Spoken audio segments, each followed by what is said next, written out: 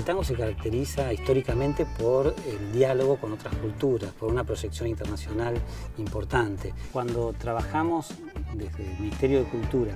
junto con, Uruguay, la presentación del tango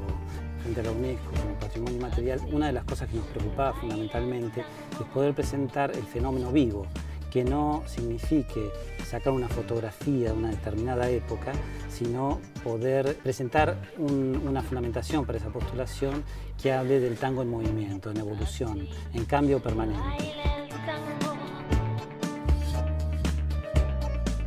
Lo que vemos que a partir de este trabajo que, se viene haciendo, de, acompañando la proyección hacia afuera, la proyección internacional del género, empieza a generar un interés cada vez mayor. En Italia la cantidad de milongas que hay en este momento es enorme, en Estambul la cantidad de milongas que hay también es enorme, es decir que bueno, que se ve que este, el tango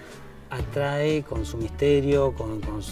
su, sofisticación, porque es una música popular, al mismo tiempo sofisticada, este, que a veces no se sabe bien dónde encasillarla, así como música clásica, así como música popular, este, sigue resultando atractiva y, este, por suerte eh, sigue teniendo una proyección internacional creciente.